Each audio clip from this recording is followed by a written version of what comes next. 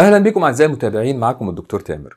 النهارده هنعمل حلقة للأطباء حديث التخرج وللطلبة في السنوات الأخيرة إزاي تاخد تاريخ مرضي من العيان أو إزاي تاخد history من العيان. كنا المفروض نعمل حلقة إزاي تفحص مريض بطنه عموما. عيان جاي لك بشكوى في ال abdomen إزاي تفحصه؟ وده كان هيشمل إن إحنا ناخد منه history أو تاريخ مرضي وإن إحنا نفحصه. بس لقيت إن موضوع ال history لوحده أو التاريخ المرضي ده هياخد وقت طويل فقلنا نعمل حلقة الأول عن ال history وبعد كده نبقى نعمل حلقات عن الفحص. إزاي تفحص حالة abdomen إزاي تفحص حالة neuro إزاي تفحص حالة chest endocrine وهكذا. فحلقتنا النهاردة إزاي تاخد history من العيان. وما تنساش في البداية اعمل لي like للفيديو عشان نكمل السلسلة دي إن شاء الله.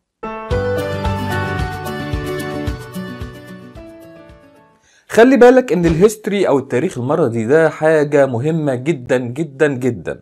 لما تاخد history كويس من العيان فممكن تشخص من 80 ل 90% من الحالات من قبل ما تقوم أصلا تكشف عليه. حتى في مقولة بتقول listen carefully to your patient.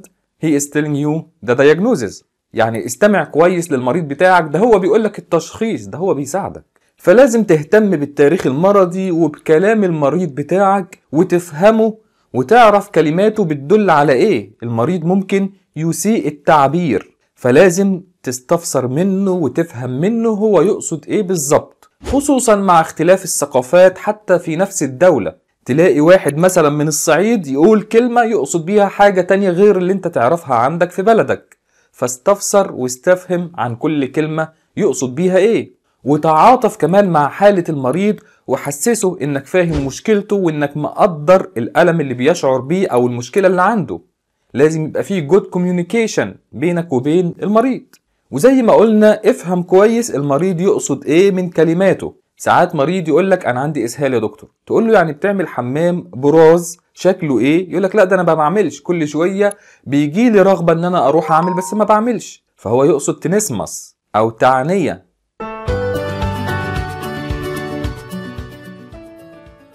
أول خطوة بتعملها وبتاخد عليها درجات من غير ما تفكر ومن غير أي حاجة خالص إنك تغسل إيدك. وأنت داخل على المريض بتاعك اغسل إيدك.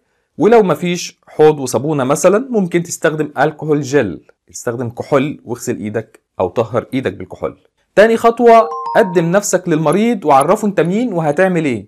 يعني قول له أنا دكتور فلان الفلاني من مستشفى الفلانية طبيب مقيم بطنة أو ممارس عام أو ايا كان أنت إيه. وجاي اسالك شوية أسئلة وافحصك بعد إذنك. فهو يقول لك آه طبعا اتفضل يا دكتور. ولو المريض كان جاي لك عيادتك الخاصة مثلا فدي تعتبر موافقة ضمنية منه إن أنت تاخد منه هيستوري أو تاريخ مرضي وإنك تفحصه. لكن مش هتخسر حاجة لما تقول له مثلا بعد إذنك هكشف عليك أو بعد إذنك هدردش معاك شوية. ما فيهاش مشكلة. كمان وأنت بتاخد ال history من المريض أو التاريخ المرضي يكون ال position بتاعه مريح وضعه أو قعدته أو النومه بتاعته يكون نايم في وضع مستريح. ما يكونش عمال يتوجع في وضع مش مريح ليه وانت عمال تدردش معاه.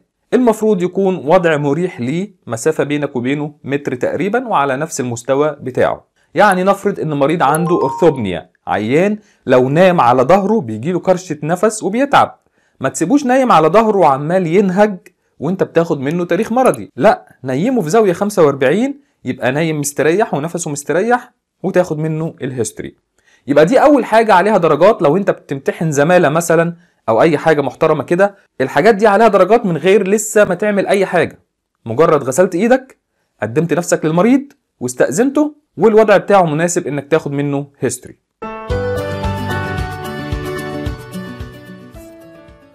نيجي بقى نتكلم عن ال history نفسه أو التاريخ المرضي النقاط المهمة فيه إيه. أول حاجة في ال history هو ال personal history يعني معلومات الشخص الأساسية بتاعته. أول حاجة name اسمه إيه؟ طب ده هيفيدك في إيه؟ طبعا هيفيدك إنك تعرف إنك داخل على المريض الصح بتاعك لو أنت في امتحان مثلا. وكمان هيفيدك إن أنت تبقى familiar مع المريض يعني هو قال لك أنا اسمي صلاح. فباقي ال history لما تيجي تاخده هتقول له يا أستاذ صلاح يا عم صلاح. فده يخليك ودود و familiar مع المريض. تاني نقطة هي sex أو جندر العيان بتاعك male ولا female وطبعا ده هيكون واضح من قدامك مش هتسأله يعني لكن بيتكتب. أنا بتكلم هتكتب إيه في ال history فهتكتب مثلا male أو female وبرضو دي نقطة مهمة ليه؟ عشان في أمراض معينة منتشرة أكتر في الذكور مثلا زي أنيميا الفول مثلا G6PD deficiency. بعض الأمراض الأخرى منتشرة أكتر في السيدات أو الإناث.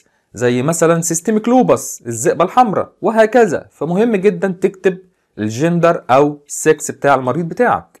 النقطة الثالثة هي الإيج العيان بتاعك ده عمره قد إيه؟ برضو مهمة. مثلا لو old age عيان كبير في السن فده بيديك احتمالات كتير للسرطانات لا قدر الله مثلا وهيديك فكرة إنه ممكن يكون عنده أمراض مزمنة كتير. هيكون عندك فكرة إن في malnutrition شوية. هيكون عندك فكرة يعني حاجات كتير في ال old age مثلا العيان بتاعك لو moderate أو young age هيديك يعني إيحاء كده إن دي ممكن تكون autoimmune disease مرض مناعي مثلا لأنه بيجي أكتر في متوسط السن أو صغار السن. فالايدج مهم جدا. رابع حاجة هي ال occupation أو الوظيفة بتاعة العيان بتاعك. هل هو طالب؟ هل بيشتغل حاجة معينة؟ طبعا عشان الوظيفة ممكن تكون بتعرضه لتلوث معين. زي مثلا كلنا عارفين في حالات ال chest أو الأمراض الصدرية مثلا asbestosis لو بيتعرض للاسبستوز أو silicosis لو بيتعرض للسيليكا شغال في مصنع أو بيتعرض للسيليكا أو بيتعرض لدخان كتير أو بيتعرض لأي سموم بأي طريقة. أو حتى الوظيفة بتاعته على مكتب مثلا فأنت عندك عيان obese ووظيفته إنه قاعد على مكتب فدي تديك فكرة إنه ممكن يكون عنده أمراض أكتر في القلب ممكن عنده أمراض في العظام وهكذا. يعني sedentary lifestyle فالوظيفة برضو مهمة جدا. خامس نقطة هي residence العيان بتاعك ده عايش فين؟ عشان برضو ممكن يكون عايش في منطقة التلوث فيها شديد. أو منطقة منتشر فيها أمراض معدية معينة. عايش في مكان مثلا فيه ملاريا عايش في مكان فيه bilharziasis أو كان قبل كده يعني. وكمان مهم تعرف هو اتولد فين وعايش فين. لأنه ممكن يكون مثلا دلوقتي عايش في القاهرة لكن هو كان واتولد واتربى في منطقة فلاحين مثلا. فممكن قبل كده برضه كان عنده بالهرزيزيس وبعدين جه القاهرة يعني. فلازم تعرف اتولد فين وعايش فين. سادس نقطة هي nationality أو الأحسن أو الأصح ethnicity. يعني العرق بتاعه إيه؟ يعني أنت ممكن تكون بتشتغل في أمريكا لكن المريض اللي أنت بتكشف عليه مصري جاي من مصر أو تركي أو إيطالي أو أي جنسية تانية. بس إحنا هنا نقصد الأصل بتاعه إيه؟ لأن في بعض الأمراض برضه منتشرة في أصول معينة زي مثلا حمى البحر الأبيض المتوسط زي ما قلنا بتيجي في المناطق اللي حوالين البحر الأبيض المتوسط. فممكن واحد مصري مثلا وعايش في أمريكا ما تقولش ده أمريكاني فما عندوش حمى البحر الأبيض المتوسط. السفر دلوقتي يعني سهل لكل الناس. سابع نقطة religion and beliefs الديانة بتاعته أو المعتقدات بتاعته. في بعض الأديان أو بعض المعتقدات تسمح له مثلا بشرب الكحوليات. في معتقدات تانية تسمح بأشياء أخرى. فخد فكرة هو ديانته إيه أو معتقداته إيه. ممكن يديك فكرة عن ممارسات معينة بيعملها تكون سبب في المشكلة اللي هي عنده. سابع نقطة هي ال marital status. تشوف العيان بتاعك متجوز ولا single معاه أولاد ولا مش معاه. برضه هيديك فكرة عن الصحة العامة بتاعته. ما هو لما يبقى راجل متجوز وعنده أولاد فغالبا الدنيا كويسة. وكمان هيديك فكرة عن قدراته الجنسية برضه هتفيدك في بعض الأمراض في مثلا ال endocrine في الغدد الصماء وهكذا. وأخيرا النقطة الثامنة هي special habits of medical importance. يعني العادات اللي ممكن تكون ليها علاقة ببعض الأمراض. ونقصد بيها يعني التدخين الكحوليات آه مثلا drug addiction لو بياخد أدوية أو مدمن لأدوية معينة طبعا لأضرارهم الكتيرة فلازم تكتب إذا كان بيعمل حاجة من دي. ويبقى دول الثمان نقط الأساسية في ال personal history على سبيل المثال هتكتبهم إزاي بقى؟ هتقول مثلا ميل بيشنت علي محمد علي 53 year old teacher born and live in Cairo Egyptian Muslim married and have three children مثلا. He is a smoker for 20 years average 20 cigarette per day يعني بيدخن حوالي 20 سيجارة في اليوم. No other habits of medical importance يعني مفيش حاجة تانية مش بيشرب كحوليات مثلا. مش مدمن حاجة معينة وهكذا.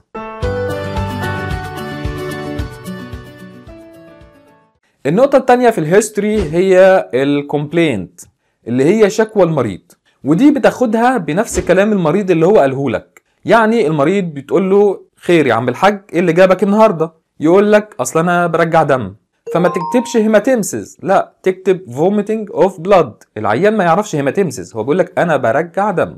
لكن في نفس الوقت ما تكتبش ترجمة حرفية. يعني مثلا أنت بتقول للمريض بتاعك خير يا عم الحاج إيه اللي جابك النهارده؟ يقول لك سكاكين يا دكتور في بطني بتقطع. ما تكتبش knives in stomach لا هو يقصد ألم شديد أو sharp abdominal pain يعني تفهم هو يقصد إيه بس شوية. عيان مثلا جاي لك وعنده ascites أو استسقاء في البطن بتكتب generalized abdominal swelling. ما بتكتبش ascites هو ما يعرفش برضو ascites عيان مثلا عنده melena فبتكتب passing black soft stool أو black tarry stool مش بتكتب melena وهكذا. وهنا تركز شوية وتخلي بالك. ممكن عيانة تجيلك تقول لها مالك يا حاجة؟ إيه اللي جابك؟ فهي ست طيبة شوية وعايزاك تهتم بكل حاجة فتقول لك يا دكتور أنا من سنتين وأنا ما بقدرش أمشي على ركبي وركبي بتوجعني وخدت علاجات كتير ومفيش فايدة. فأنت تقول لها يا حاجة إيه اللي جابك النهاردة؟ إيه اللي تعبك؟ تقول لك أصل أنا بكح وعندي سخونية أو ارتفاع درجة حرارة وبلغم من 3 أيام. يبقى دي الشكوى بتاعتها. الشكوى بتاعتها أو complaint هو ال cough وال fever وال sputum production مش ال osteoarthritis اللي هي بتتكلم عنها بقالها سنتين. فتركز كده وتشوف العيان جاي بإيه النهارده. حتى لو العيان عنده مشكلة فعلا من سنتين يعني هديك مثال عيان عنده liver cell failure عنده فشل في وظائف الكبد. وفعلا رجليه مورمة من فترة كبيرة وجاله صفرة أو يرقان من فترة وجاله كمان ascites مثلا أو استسقاء في البطن من ست شهور لكنه رجع دم امبارح. فالشكوى بتاعته اللي هنكتبها هنا ال complaint هي vomiting of blood مش هنكتب اللي فات ده كله. هو دلوقتي جاي لك عشان بيرجع دم. مش عشان التشخيص من الأول هو أكيد متشخص. وحتى لو مش متشخص انت بتكتب الشكوى الأساسية أو اللي جد إيه على المريض. وخلي بالك ال complaint بيبقى جملة مختصرة مش بنكتب فيها تفاصيل. يعني العيان اللي قلت لك عليه عنده liver cell failure من 3 سنين مثلا لكنه رجع دم امبارح فإحنا مش هنكتب القصة دي كلها. لما تيجي تكتب complaint هو vomiting of blood of 24 hour duration مثلا أو 2 days duration. بس كده هو ده ال complaint. جملة مختصرة تعتبر راس الموضوع اللي إحنا هنتكلم عنه. عيان تاني مثلا عنده ascites أو استسقاء في البطن من 6 شهور فالموضوع زاد عليه وبدأ يتعبه قوي من يومين. فمش هنكتب من 6 شهور ولا حاجة إحنا هنكتب increasing abdominal swelling with shortness of breath. لو مثلا نفسه بقى يتضايق من ال- الزيادة دي يعني. وعشان أنا كنت ناوي نتكلم عن حالة abdomen فهقول لك يعني بعض الأعراض أو المشاكل اللي العيان بيجي بيها اللي عنده مشكلة في ال abdomen. هيجي لك بإيه يعني؟ يا إما upper GIT symptoms أعراض خاصة بالجهاز الهضمي من ناحية فوق ال upper يعني. عيان ممكن يجي لك مثلا loss of appetite anorexia مش عارف ياكل أو ملوش نفس يعني إنه ياكل. عيان يجي لك ب vomiting قيء أو sense of vomiting اللي هو nausea اللي هو غثيان. عيان يجي لك ب vomiting of blood زي ما قلنا hematemesis عيان يجي لك ب eructation بيتكرع كتير. عيان بيجي لك ب heartburn أو water brash لو عنده GERD مثلا حرقان أو حموضة أو التهابات يعني. عيان يجي لك painful swallowing يعني dysphagia ألم أثناء البلع. عيان يجي لك ب hiccup يعني زغطة يعني أي حاجة تبع فوق. في lower GIT symptoms يعني أعراض تبع الجهاز الهضمي بس من ناحية تحت. عيان عنده change in bowel habits يعني عادته في البراز أو عدد المرات اختلف. أو يجي له مثلا diarrhea passing loose stool بقى عنده إسهال. أو constipation passing hard infrequent stool أو عنده tenesmus زي ما قلنا sense of incomplete defecation كل شوية يحس إنه عايز يروح يعمل حمام وما يعملش أو يعمل حاجة بسيطة ويرجع وهكذا. عيان يجي لك ب bleeding per rectum بينزل دم أحمر من فتحة الشرج. عيان تاني عنده melena اللي هو زي ما قلنا passing black tarry stool ممكن عيان يجي لك ب toxic manifestations يعني عنده مشكلة في البطن لكن جاي لك ب toxic manifestations عنده fever ارتفاع درجة حرارة headache عنده malaise في بعض الحالات الشديدة أو الحالات المزمنة ممكن يبقى عنده weight loss مثلا فقدان في الوزن.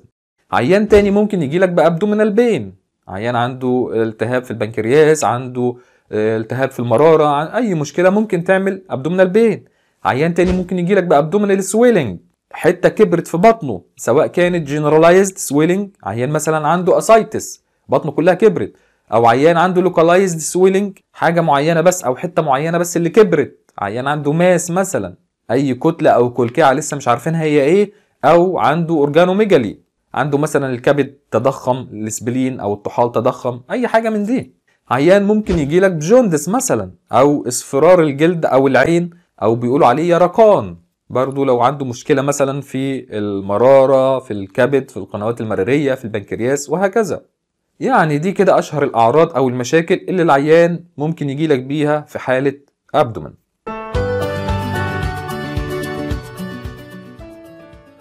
النقطة الثالثة في ال history هي history of present illness إحنا قلنا إن ال complaint بيبقى جملة صغيرة وخلاص. هنا بقى بنفصل كل حاجة عن حالة المريض. في ال history of present illness إيه اللي حصل بالظبط للمريض؟ من آخر مرة كان سليم فيها. ونفصل كل حاجة. وكمان نشوف كل العلامات أو كل الأعراض اللي ليها علاقة بالنقطة دي ونثبتها لو موجودة. لو حاجة منهم موجودة نثبتها ونفصلها. ولو مش موجودة لازم ننفيها. على سبيل المثال العيان لو جاي لك ب abdominal pain عنده ألم في البطن. فلازم نعرف site مكان الألم ده فين؟ onset course duration يعني ال onset هل هو acute ولا gradual ولا اللي يعني الألم ده لما جاله هل بدأ فجأة ولا بدأ واحدة واحدة ولا بالتدريج خالص ولا حصل إزاي؟ course يعني لما بدأ الألم هل بدأ يزيد بقى باستمرار لحد ما جالك ولا بيروح ويجي intermittent ولا ثابت ولا إيه بالظبط؟ وال duration يعني بقاله قد إيه الألم ده مع المريض. كمان severity تعرف شدة الألم. تقول للمريض مثلا لو هو فاهم كويس آه، في scale أو مقياس من واحد لعشرة عشرة ده يعني أقوى ألم أنت شفته في حياتك. مثلا لو كنت اتكسرت قبل كده ولا حاجة فالألم ده اعتبره عشرة. وواحد ده يعني مفيش ألم أو ألم بسيط خالص ويديك مقياس. كمان هل الألم ده خلاك ما تروحش الشغل؟ فده يدل على إن الألم شديد.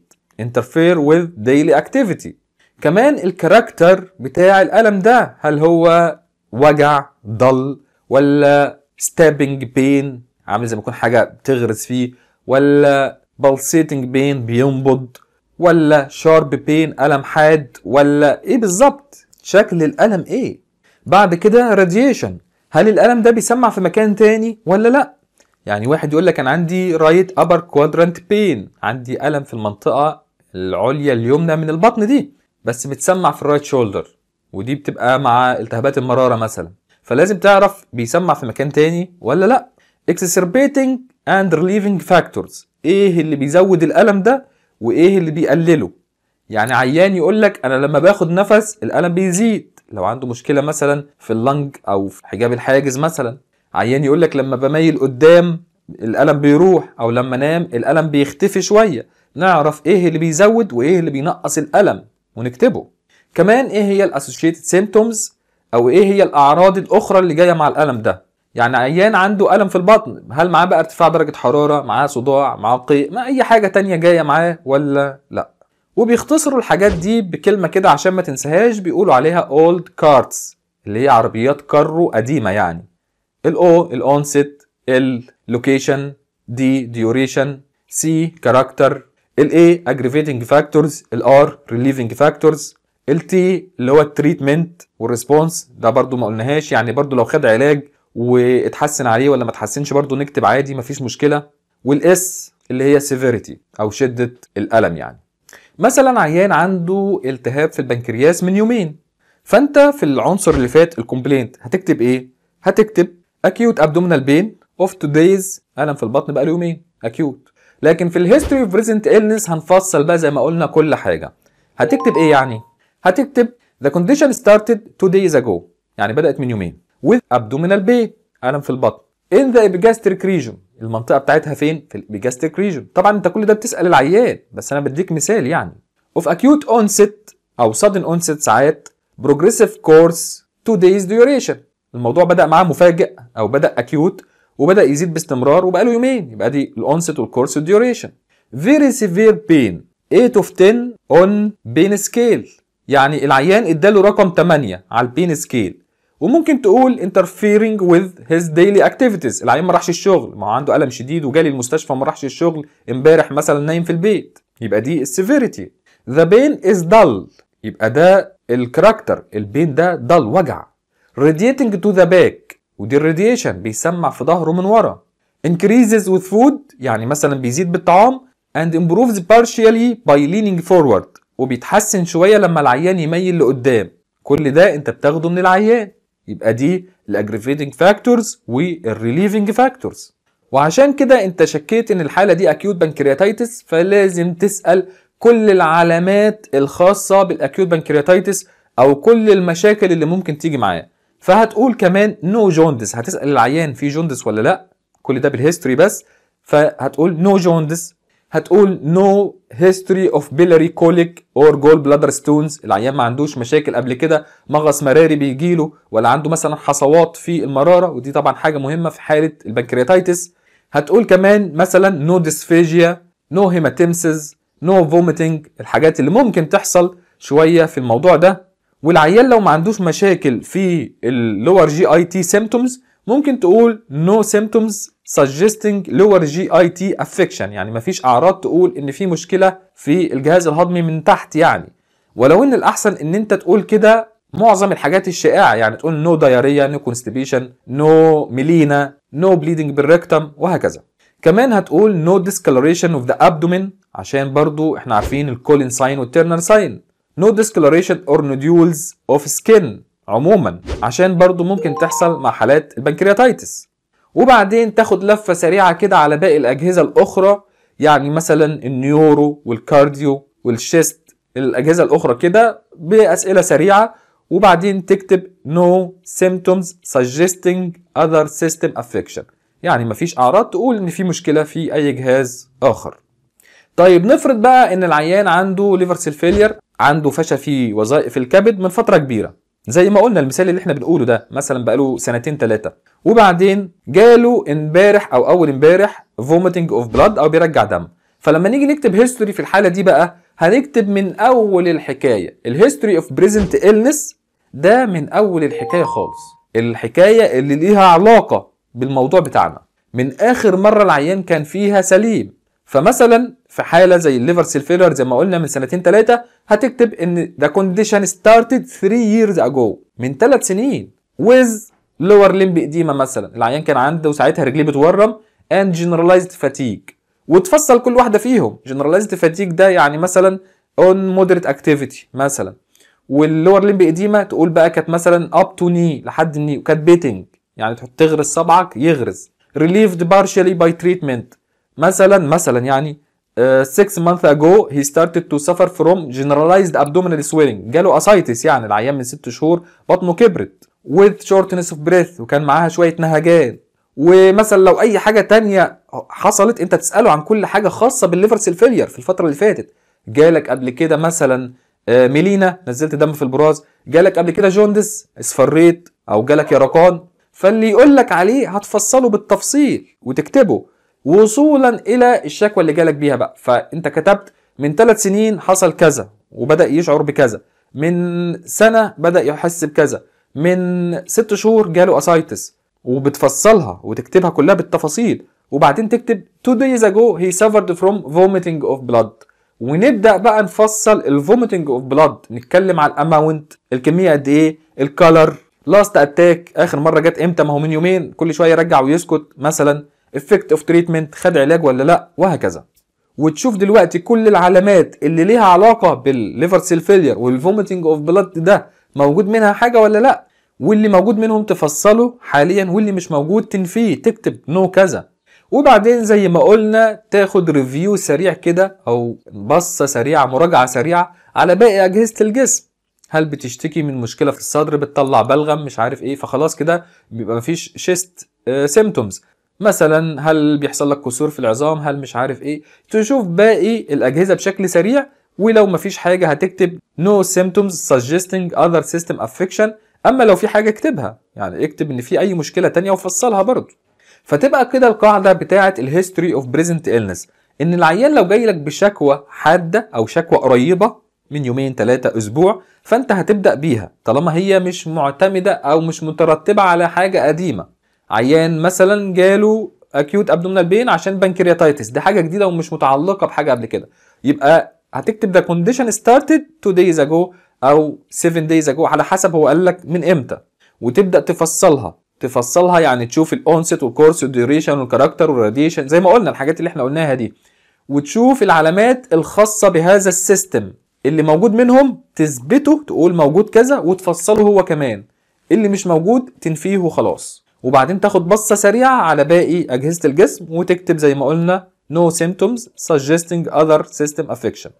أما المشكلة لو كانت بدايتها قديمة زي ما قلنا واللي حصل اليومين دول complications منها فأنت بتكتب من بداية الموضوع خالص زي ما قلنا عيان عنده فشل في الكبد من ثلاث سنين بنكتب إن البداية من ثلاث سنين. مثال آخر يعني لو عيان عنده AF مثلا عنده رجفان أذيني بقاله مثلا ست سنين وبعدين دلوقتي جاله stroke جاله جلطة في المخ. فالجلطة بقالها يومين. مش هنكتب الموضوع بدأ من يومين. في ال present history أو ال history of present illness هنقول إن ال condition أو الحالة دي بدأت من ست سنين. بدأت بال AF واللي حصل النهارده ده complication من هذا الموضوع. فهتكتب إن the condition started 6 years ago من ست سنين مثلا with palpitation العيان ساعتها حس ب palpitation shortness of breath in attacks وبعدين خد مثلا received treatment و improved عليه والدنيا تمام. وبعدين تسأل عن كل أعراض القلب بس ده مش موضوعنا دلوقتي. بعدين تكتب إن two days ago he suffered from left sided مثلا hemiparesis وهكذا.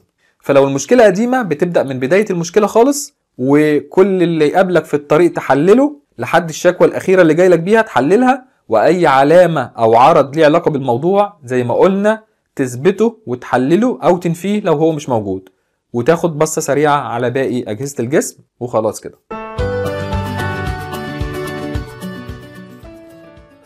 النقطة الرابعة في ال history taking هي ال past history التاريخ المرضي القديم بتاع العيان. ودي نقصد بيها ال past medical history وممكن كمان ال surgical history يعني الأمراض اللي عنده قبل كده أو اللي جات له قبل كده خصوصا الحاجات المزمنة زي الضغط مثلا والسكر أمراض القلب أمراض الكلى الحاجات المزمنة شوية. فمثلا العيان بتاعك لو عنده مثلا سكر فهتكتب the patient is diabetic 10 years ago مثلا. on oral hypoglycemic drugs. أو مثلا on insulin لو هو بياخد انسولين مثلا. the patient has hypertension 3 years ago مثلا يعني. وكمان ال surgical history مثلا العيان عامل cholecystectomy شايل المرارة 3 years ago. ومثلا عامل appendectomy شايل الزايدة الدودية 20 years ago مثلا يعني. فتكتب العمليات اللي العيان عملها. وفي ال past history تخلي بالك إن العيان ممكن يكون ناسي حاجات كتير لأن دي past history فلازم يعني تفصل شوية للعيان عملت عملية في القلب عملت عملية في البطن عملت اقعد استفسر منه شوية كده النقطة الخامسة هي drug history and allergy and side effects. ال drug history يعني العيان بياخد أدوية إيه؟ ودي ممكن تفيدك. أنت ممكن تجي لك ست كبيرة مثلا في السن وتقول لك مش عارفة عندي إيه يا دكتور أنا أه عيانة بس مش عارفة عندي إيه. طب وريني العلاج يا حاجة اللي معاكي. فتلاقيها مثلا عيانة عندها 71 سنة ماشية على كونكور أو بايسبرولول وماشية على ريفاروسباير مثلا أو rivaroxaban. فبالعقل كده شكلها كده AF مثلا. فهتديك فكرة العيان عندها إيه. عيان تاني مثلا عنده 41 سنة بيديك العلاج لقيت فيه مثلا metformin و vildagliptin أتور و ramipril مثلا. فغالبا الراجل ده عنده مثلا سكر وممكن يكون معاه chronic kidney disease عشان كده بياخد ال ramipril أو مثلا معاه hypertension كمان. فمهم جدا إنك تعرف الأدوية اللي العيان بياخدها. وكمان ال OTC drugs لو بياخد أدوية كده من نفسه من أي صيدلية أو حاجة دي مهمة جدا ممكن تكون هي سبب المشكلة. كمان ال herbal أو الأعشاب الطبيعية برضو مهمة جدا. إحنا نعرف إن الأعشاب الطبيعية ممكن تكون ضارة في أعشاب ضارة جدا. فلازم برضو نعرف العيان بياخد إيه. وكمان change in treatment يعني ممكن العيان ماشي على حاجة من سنين طويلة أو من فترة كبيرة أو من فترة وبعدين غيرها الدكتور غيرها له أو هو غيرها من نفسه قريب ويكون التغيير ده سبب المشكلة. يعني ممكن تغيير الجرعات بس أو ممكن تغيير العلاج بس. عيان مثلا بياخد للسكر vildagliptin ماشي عليه بقاله سنة لقاه غالي وبتاع فواحد صاحبه قال له خد Amaryl يا عم خد glimepiride مثلا. فحصل له بقى يدوخ. وبدأ يعني الدنيا تسود في عينه ويدوخ ويجي له presyncopal attack وحاجات فبدأ يحصل له hypoglycemia من تغيير العلاج يعني. فبرضه لو في أي change أو تغيير في العلاج نعرفه. كمان هنا نعرف ال allergy هل العيان عنده حساسية من علاج معين ولا لأ؟ ده هيفيدك بعد كده لما تيجي تكتب له علاج. مثلا عيان يقول لك أنا عندي حساسية من أدوية السلفا. بعض المرضى بتبقى عارفة يبقى مش هنكتب له سلفا. عيان تاني يقول لك أنا عندي حساسية من البنسلين. يعني ما خلاص مش هنكتب له بنسلين. بس هنا لازم تبقى تتأكد من العيان. لأن يعني في بعض الناس مش عارفة قوي. أنا مثلا يعني واحدة مرة بقول لها عندك حساسية من حاجة معينة من ادويه تقول لك آه عندي حساسية من البنسلين. قلت لها يعني خدت قبل كده مثلا فلوموكس أو أموكسيسيلين أو أي بنسلين طويل المفعول أو أي بنسلين يعني وحصل لك منه حساسية. قالت لي لا بس أنا والدتي عندها حساسية من البنسلين وأنا طالعه لوالدتي. فيعني خلي بالك ركز شوية. ويعني اسأل العيان انت خدت الدواء قبل كده حصل لك منه إيه مثلا؟ وهكذا. لأن ده ممكن يحرم المريض من دواء مهم يفيده في حالته وهو فاهم غلط إن عنده حساسية فأنت هتتأكد. كمان مش بس الحساسية حتى ال side effects يعني مثلا عيان يقول لك أنا عندي الضغط مثلا من سنة وبعدين الدكتور كتب لي Ezapril مثلا أو أي نوع من أنواع ال ACE وجالي cough جاله dry cough اللي هي أحد الأعراض الجانبية لل ACE مثلا. فتبقى عارف عشان ما تجيش في العلاج بعد كده وتكتب له ACE برضه. فمهم كمان ال side effects ودي مش allergy دي مش حساسية ده أعراض جانبية وارد إن هي تحصل يعني. النقطة السادسة في ال history هي ال family history التاريخ المرضي للأسرة. وده برضو مهم جدا لنفس الحالة أو حالة ليها علاقة بيها. يعني مثلا طفل جاي ب hemolysis جاي بتكسير في كرات الدم الحمراء فبتسأل تاريخ مرضي في الأسرة خصوصا يعني من ناحية والدته عنده مثلا تكسير أو حتى من ناحية والده عنده تكسير في كرات الدم الحمراء فيقول لك مثلا خاله مش عارف إيه. فممكن ده يديك فكرة إن دي مثلا أنيميا الفول. عيان عنده thyroid disease أو مشكلة في الغدة الدرقية تسأل برضو عن التاريخ المرضي في العيلة. هل الست الوالدة عندها برضو غدة؟ هل حد في البيت تاني عنده غدة درقية؟ عيان مثلا عنده Gilbert syndrome ده برضو أحد الأمراض في الكبد اللي بتعمل صفرة أو يرقان وبتبقى موضوع ليه علاقة وراثية يعني ليه وراثة. كمان related conditions يعني مثلا العيان اللي جاي لك عنده سكر مثلا من النوع الأول فتسأل مثلا هل الأسرة فيها حد كمان عنده سكر؟ أو حتى عنده غدة؟ ما هي الغدة أحيانا عشان الجهاز المناعي برضه يبقى حاجة مناعية في الأسرة أو أي مرض مناعي تاني في الأسرة طيب؟ وأخيرا النقطة السابعة في ال history هي social history يعني تشوف العيان بتاعك ده عايش مع مين في البيت شغلته إزاي بيروح الشغل بتاعه إزاي طبيعة شغله إيه وده بيبقى مهم عشان تشوف العيان بتاعك هيحتاج بعد كده عناية في البيت معينة. ما هو لو عايش لوحده مش هنقدر نروحه البيت طالما مش هيقدر يعتمد على نفسه مثلا. هل هنحتاج نغير طبيعة شغله؟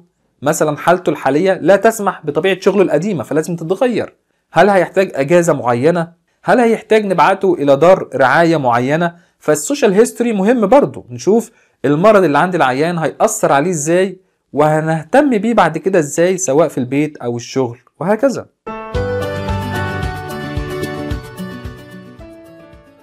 ودي كده كانت أهم النقط بتاعة ال history. بعد ما غسلت إيدك وقدمت نفسك للعيان واستأذنته وحطيته في وضع كويس بتاخد منه personal history بعد كده ال complaint أو الشكوى بتاعته الأساسية بعد كده history of present illness اللي هو بنحلل الشكوى وكل ما له علاقة بيها بعد كده ال past history سواء أمراض مزمنة أو عمليات بعد كده ال drug history الأدوية اللي بياخدها وكمان لو في allergy أو side effects منها بعد كده family history تاريخ مرضي في الأسرة وبعد كده social history لو شايف إن الموضوع مفيد والسلسلة دي كويسة ونبدأ نعمل الفحص بتاعة الحالات اللي قلنا عليها اكتب لي الكلام ده في الكومنتات عشان أعرف إن الموضوع مهم يعني. وفي النهاية أحب أشكركم. ما تنساش اشترك في القناة وأعمل like و share. شكرا لحضراتكم.